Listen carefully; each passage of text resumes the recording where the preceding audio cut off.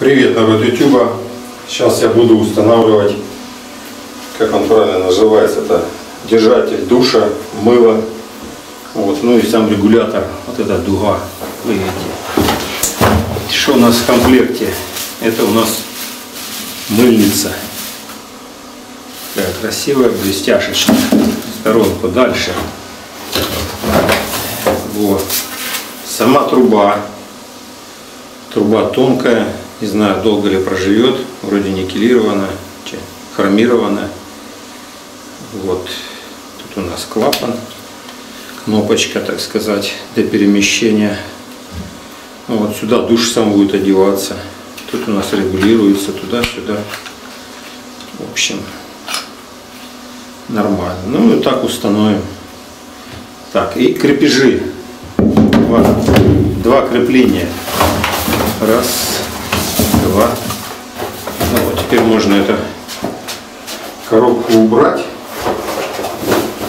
Она нам больше не нужна.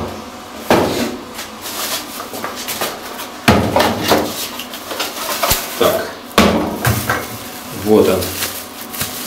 Таких два держателя. Тоже красивые. Чтобы закрепить, нужно вот эту выковырять заглушку. Не так-то легко. Вот есть отверстие для того, чтобы ковырнуть чем-то. Можно не ковырять с этой стороны, отвертку взять, пока новая, выдавить. Все, тут мы будем крепить. Таких два штуки, наверх и на низ. Так, ребята, теперь наша задача определиться, на какой высоте все это дело ставить. Ну, я предполагаю, что ставить в этом углу можно, в общем, посередине, но я там планирую полку все-таки поставить. Думаю, вот это сбоку, над самим краном умывальника, думаю, поставить где-то вот так, даже выше. Почему выше? Ну, судя по тому, что это, само корыто, я в него становлюсь, и чтобы мне все-таки на голову стоячем состоянии моем оно сливало с душа. Вот, поэтому где-то вот тут я расположу.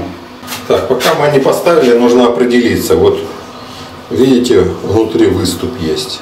Вот я так, внизу выступ, видите? Вот, а тут на трубе вырез. Вот они должны совместиться. Для чего это делается? Для того, что труба, она неровная, видите, выгнута. И чтобы она не крутилась туда-сюда. Вот для этого фиксатор этот используется. Для сверления в плитке я использую такой, не знаю, латунный, что это за сплав такой. Ну, его смазывать надо во время сверления, потому что греется очень сильно. Ну, я уже его использую много раз, поэтому спасает. Очень удобная вещь. Может кто-то другим сверлит, подскажите.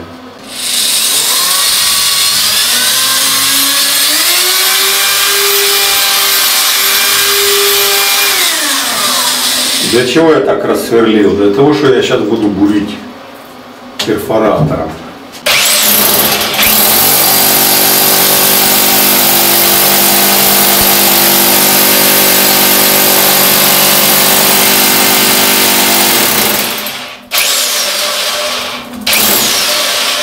Все. Теперь чопика. Вот. И устанавливаем вот эту штукенцию. Для этого сразу наживляю, бо потом сложно попасть будет.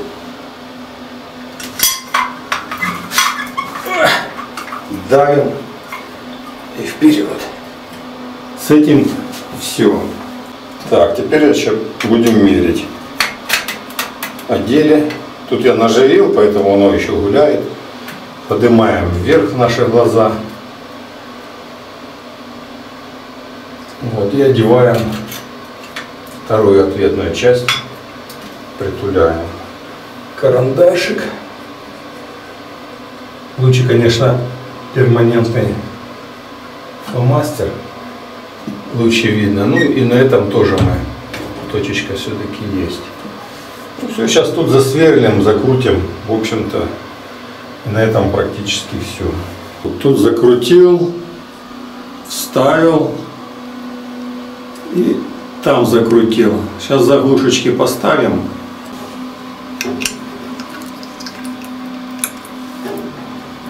Вот. Все, нижняя готова. И верхняя готова. Так, вот он душ. Будет такой простой, без всяких выпендросов. Вот так он устанавливается. О. Если надо подрегулировать наклон, регулируем. Одной рукой неудобно, но можно. Ну и здесь высоту гоняем и гоняем поворот туда-сюда. В общем, по идее должно быть нормально. А теперь внизу. Вот, тут шайбочка идет. В общем, прижимается. Я думаю, проблем нету. Одеваем.